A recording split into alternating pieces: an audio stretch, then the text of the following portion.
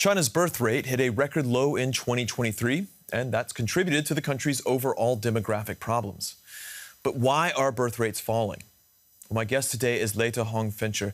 She's the author of Leftover Women The Resurgence of Gender Inequality in China. Leta, thanks for joining us. Uh, I want to begin with a very general question. I'd ask you to try and keep it as short as possible, as we'll get into the, into the details in just a moment. And the question is what is making having children less desirable for Chinese women and families? Well, um, this is a trend that has been going on for about the past decade. Um, uh, in 2013, actually, marriage rates hit a peak in China, and marriage rates have been falling consecutively ever since then, and then birth rates have been falling for seven consecutive years. Um, a decade ago, when I was doing my research actually for the first edition of my book, Leftover Women, um, a lot of the women that I interviewed felt that they were quite unhappy in their relationships, um, but they planned to marry anyway because the expectation was that they had to get married. Um, and we can talk a little bit about what all of those marriage pressures are. Um, those pressures still exist today, but what you're really seeing is so many more young women, especially those who have gone to college and are better educated, are realizing that they don't have to marry if they don't want to. They have more choice in their personal lives, and uh, and a lot of these women are just uh, don't find the prospect of babies uh, as appealing as they used to. All right, we'll have more questions in just a moment. First, let's take a quick look at the background to this story. Now, last year, the UN estimated that China, long the most populous nation in the world, dropped behind India after its population fell for the first time in decades. Now, Beijing revealed this week that the numbers fell again last year and much more seriously by some 2 million people. Now, that puts China's population at just over 1.4 billion people. Uh, one important aspect of this trend, China's birth rate, slipping to just 1.09 children per woman, uh, per woman rather, and that's one of the lowest in the world right now. Now, now we're seeing that a country that famously sought to restrain population growth through its one-child policy uh, seems to be facing the opposite problem. And of course, that's ultimately a problem when there aren't enough future workers to support the next generation of retirees. Let's go back to Leta Hong Fincher. She's the author of Leftover Women. Uh, Leta, you sort of touched on this, uh, and it makes sense to me that really uh, an increasingly educated population, uh, women would see other priorities than just having a family. But the title of your book and what you were just saying about equality, it seems that there's more to this than just that. Is that fair to say? Yeah, well, it's a complex phenomenon. Um, yeah, the subtitle of my book is The Resurgence of Gender Inequality in China. And you see uh, in so many different facets of life. Uh, for example, you see uh, falling female labor force participation rates over the last few decades, a widening gender income gap, very widespread gender discrimination in employment, hiring, and uh, and promotion um, and also an epidemic of violence against women that fight of um, laws, new laws on, on paper in China with an anti-domestic violence law. Um, domestic violence is basically completely unpunished in China. Another important development is that in the last few years, it has become a lot more difficult for women to get divorced um, there was a so-called divorce cooling off period that was used by the government in 2021, and so um, increasingly millions more uh, women, young women in their 20s or early 30s, uh, do not see marriage as an attractive option at all, and uh, they also don't want to have even one child, let alone three. Of course, the, the, the government introduced a called three child policy in 2021 as well. Uh, how, how is this unequal treatment of women any different than generations past in China? Well, this is quite interesting with China's uh, communist history because one of Mao Zedong's most famous, of course, is the founder of the People's Republic, um, was that women hold up half the sky. And in the early communist era, Communist Party assigned women jobs en masse. And in fact, they had a widespread propaganda campaign um, all up until the end of the 1970s, urging women to marry and have children later. Um, but then uh, around that time, the government also was carrying out this draconian population planning policy, often referred to as one child policy, um, where there were so many egregious uh, abuses of women's rights, things like forced sterilizations, mass forcible insertion of IUDs. Um, but uh, since the onset of market reforms in particular, this is a long standing process. There have been um, a, a, lot of different ways in which gender, traditional gender inequality from from China's history has has returned in many different ways. Um, and at the same time, women today are better educated than ever before in Chinese history. Um, and this should be something to be celebrated, actually. But the government doesn't see educated women as uh, a great thing. They actually see that development as, as a threat to political stability in many ways. Um, and just recently, Xi Jinping said that uh, effectively that uh, women need to return to the home, return to these very dutiful roles of wife and mother to preserve harmony in the family, and that that would contribute to uh, political harmony or political stability for the entire country. You've spoken before about how the term leftover women itself was this kind of government propaganda to describe unmarried women of child rearing age. You know, we talk about women today in China being so much more educated uh, than they were in the past. I would imagine that such labels are still incredibly powerful in a place like China. How difficult has it been for women to defy that kind of term? Yes. Well, uh, leftover women was actually defined by the Chinese government in 2007 to mean a woman who is 27 years old, um, educated, and single. And I, I, write about this a lot in my book. Um, was a massive propaganda campaign to insult women like this who are single and educated, um, warn them that they don't hurry up and marry and have a baby well, when when the uh, propaganda came out, it was still under the one child policy. Um, that that the if these women don't hurry up and marry and have babies, that no man will ever want them, and they'll be miserable for the rest of their lives. Um, the thing is, the, the propaganda was quite effective initially when it came out in 2007, but uh, over the last decade, that propaganda no longer works. It is completely failing. Um, so you still see very intense pressure on women to marry, um, and there is even more pressure from the government now for them to have three babies instead of uh, one baby. But um, but that kind of you just see millions and millions more women who are saying no to pressure. That takes a lot of courage, by the way, because some of the most difficult, intense pressure to marry and the baby comes from the women's own parents um, who are also being pressured by the government and, and government propaganda.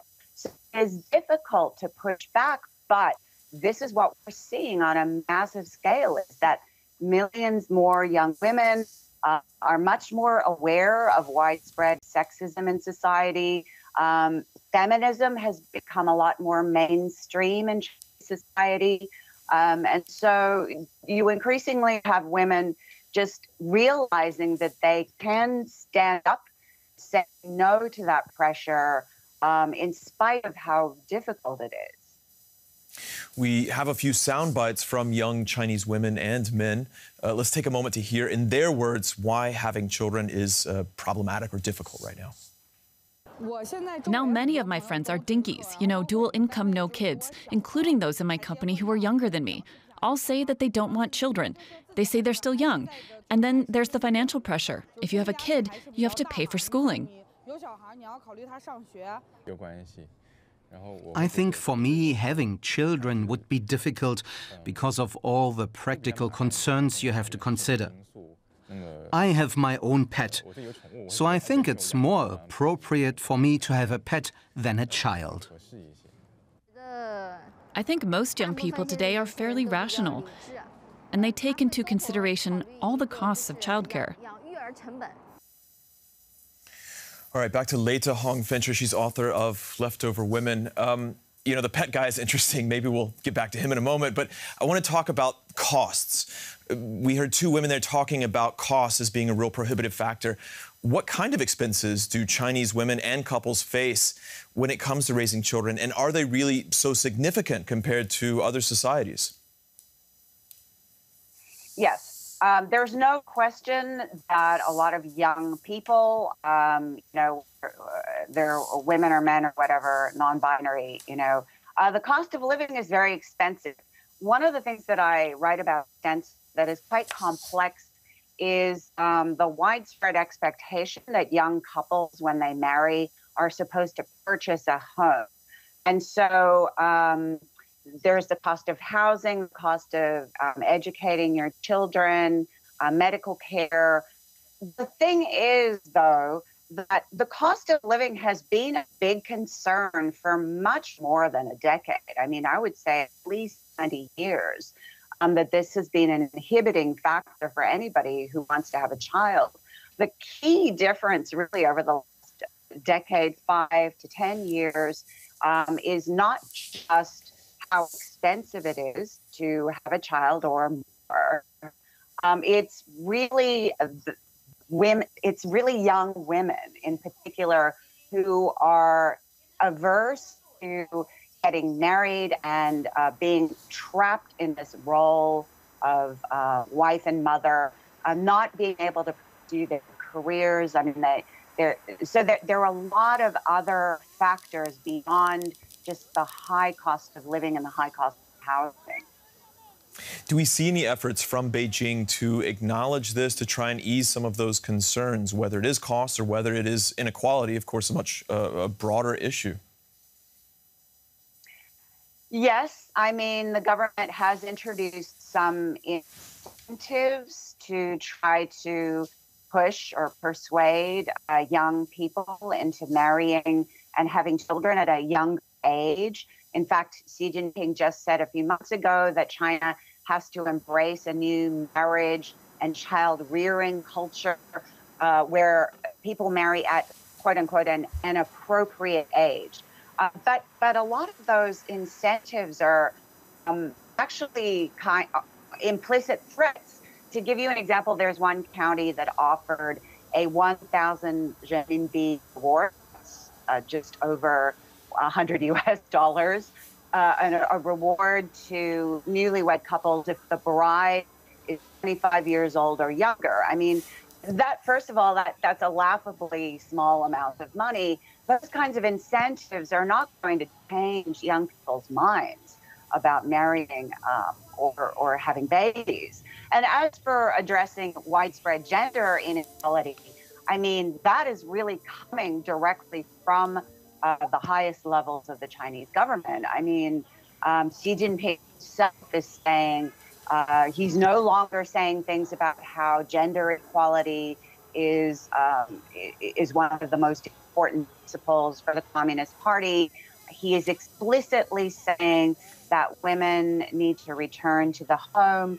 Uh, government not doing anything substantive, in my view, to address falling rates of female labor force participation or widespread gender discrimination by employers. I mean, you, you see routinely employers when they're interviewing uh, women, especially in their 20s and early 30s, routinely asking them, when are you getting married? When are you having your first baby? When are you having your second baby? Um, things like that that are actually even illegal in China, but it's still widespread practice. And so this is um, this this is one indication that the Chinese government no longer sees economic growth as its number one priority under Xi Jinping. Basically, the number one priority is to maintain uh, Communist Party longevity to maintain political stability. And it's rather complex. I write about it in my book, but um, but I make the argument that, um, especially under Xi Jinping, uh, that that the Communist Party sees the subjugation of women, um, reducing women to the role of subservient wife and mother in the home, is seen as something that helps preserve political stability. Um, one of the ways in which it does that is to make uh, make it basically um, very difficult to to penalize men who are violent towards women in their own homes. The government just turns a blind eye to that kind of violence. It, it, you touched on this a little bit earlier, but to what extent does the one child policy and its legacy um, leave a burden on this current generation as they, they hit this child rearing age? Well, I mean, there's no question that uh, the fact that this one child policy uh, that resulted in just terrible abuses of human rights for many years, over three decades, uh, well over three decades, very draconian enforcement methods that caused widespread suffering. Um, the, the government can't suddenly just abandon that and then all of a sudden uh, say, okay, everybody gets to, or please have three babies. I mean, those women who were forcibly sterilized or had IUDs forcibly inserted, some, some of them were subjected to forced abortions. Those women are not dead. I mean, they're not even that old, in fact. Um, so it, it is part of the lived experience of all of these um, people um, and and women in particular, they're the ones who are bearing the brunt, of course, of uh, widespread gender discrimination. They're the ones who have to have the babies. Um, they even if their own parents are telling them, in many cases, are saying, you know, you really have to marry. You've got to have at least one baby.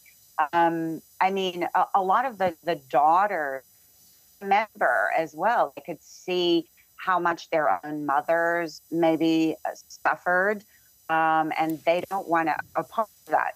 And also, of course, the daughters today are, are um, generally speaking, much better educated than um, than their parents. I mean, better educated, and so they want more options for themselves. Um, they, you know, they they want to pursue their dreams. Where does this go from here? Um, when we look especially at China, its economic situation, many think that it's entering perhaps a prolonged stagnation. Um, and if the government's not willing to make the situation better in terms of working with women um, instead of, you know, appealing to patriotic duty, do we have any sense of, of when something gives or, or what direction this could take? Well, I mean, unfortunately, this does not paint a very bright picture for the future of women's rights in particular in the country. Um, I mean, I, I don't, I hesitate to lay out what the bleakest scenario would be, but uh, you, are already seeing restrictions on um, things like widespread restrictions on vasectomies. Um, so I think that it's we can probably expect more restriction on abortion um, for sure. The fact that the government hasn't actually come out and really drastically reduced with us access to abortion yet shows you that even Xi Jinping is aware that you can't just uh, go in and force women to get married and force them to have babies. That that would result in a massive uh, rebellion. Um, and, and, I might add that this is a political challenge uh, for sure, as well as an economic challenge. I mean, these reduced birth rates are basically baked in to the demographic picture for the next entire generation. Yeah. This, this is going to be the picture for the next several decades. You can't, even if the government were to suddenly change they did everything and offer free childcare, you know, free um, education for all children, free medical care, free elder care to make the lives of women in particular easier. Even if it were to do that, you know, the demographic situation is already there. They're not going to be able to significantly boost birth rates. Um, so this is uh, this is pretty grim for the future. Another thing, of course, is that the government could boost immigration um, to to allow workers from other countries to come and work in China. But again, we get on into the issue of political stability, mm. where uh, I don't see any indication that that's on the table. All right, we'll have to leave it there for now. I want to thank our guest, Leta Hong Fincher. She's author of Leftover Women The Resurgence of Gender Inequality in China. Leta, thank you. We also want to thank, thank you, you, our viewers, for watching. There's plenty more here on the DW News YouTube channel, and we hope to see you again soon. Take care.